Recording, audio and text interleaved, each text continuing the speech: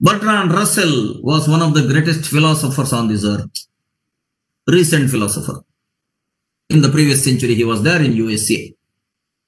This Bertrand Russell had read lots of books, lots of books about sociology, about philosophy, about religions. He had read lots of books. And because of the reading of lots of books, he was having a lot of intellectual ability. And he used to think in his own way that he is a highly knowledgeable person.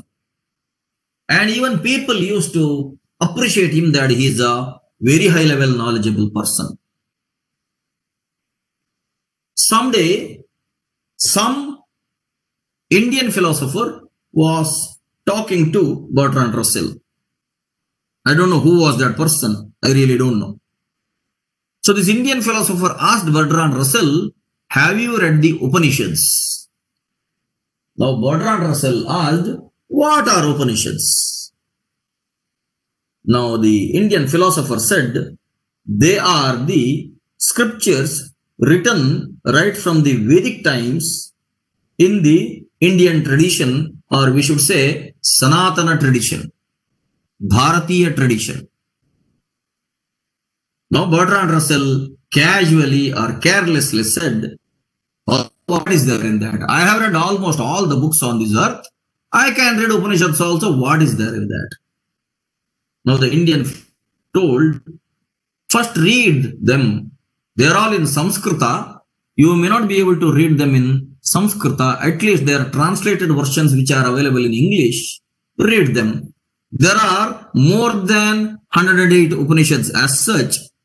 But uh, Adi Shankara and later on another four Acharyas, they have written commentaries on the Upanishads. In fact, Adi Shankara wrote the commentary on the Upanishads for the first time for the selected 12 Upanishads. Later on, Ramanujacharya also wrote. Later on, Madhvacharya also wrote. Later on, Vallabhacharya also wrote. Nimbarkacharya also wrote. So that way, these five acharyas who wrote the bhashyas, they were called as five philosophical systems in India. Now, the Indian philosopher did not tell all these things to Bertrand Russell because the Bertrand Russell will not understand all this bhashya, commentary, and all that.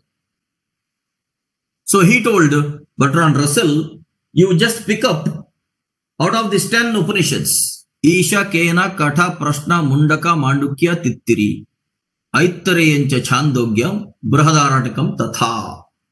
That way there are 10 Upanishads.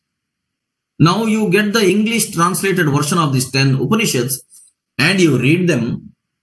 Later on, let us see. Bertrand Russell told, What a big deal! I have read books, I have written so many books. I am a quite knowledgeable person, I am capable of reading anything. Let me get those 10 English translated versions and let me read them. He told it so casually. But for reading the 10 Upanishads, even the translated version,